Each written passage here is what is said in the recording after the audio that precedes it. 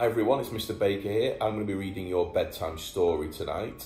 So I hope you've brushed your teeth, washed your face, got ready for bed with your pyjamas on. I've got my Team Falcon pyjamas on here. And we're ready to read our book. Now, me and Moose, you may have seen Moose in my PE videos. We're going to read Little Stinker tonight. Little Stinker is one of my favourite books. We've got to try and guess why when we're reading it. So let's start Little Stinker. Percy was a little fish. He wasn't smart or sporty. He wasn't sweet and kind. In fact, he could be rather naughty. He wasn't that good looking. He was small and kind of spotty. But he was very good at blowing bubbles with his body.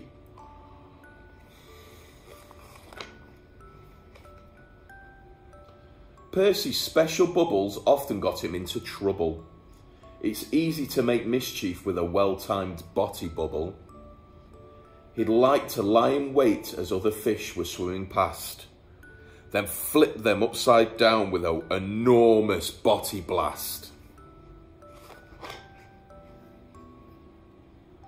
At school, he always tried to cheat whenever he, they had races by blowing stinky bubbles in the other fish's faces. Then using supersonic botty burping bubble power, he'd shoot off like a rocket at 100 miles an hour.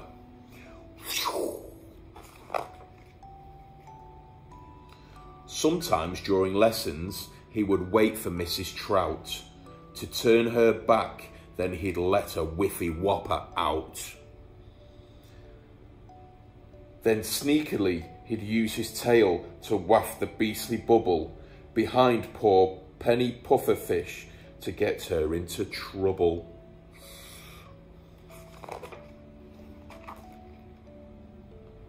One day, a poor old hermit crab was reeling from the smell of the bubbly little present Percy left inside his shell. That little rotten stinker, cried the crab. Oh, what a pong. It's time to get our own back, and it shouldn't take too long.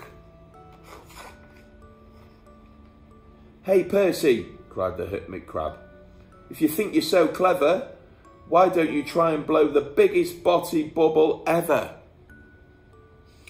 Percy's face went purple from the pressure as he tried it. Then blop! He blew a huge one.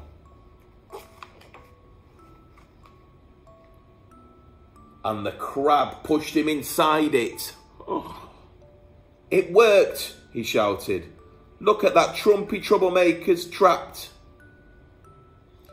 And all the other underwater creatures cheered and clapped. Get me out, gasped Percy, going greener by the minute, as the bubble bibble bobbled up and up with Percy in it.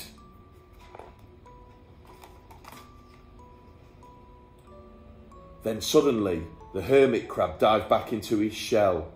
Look out, the others cried, and tried to hide themselves as well. Oh, see those razor teeth, they gasped. Those evil eyes. Good grief, it's Two Ton Tom, the tiger shark. The terror of the reef.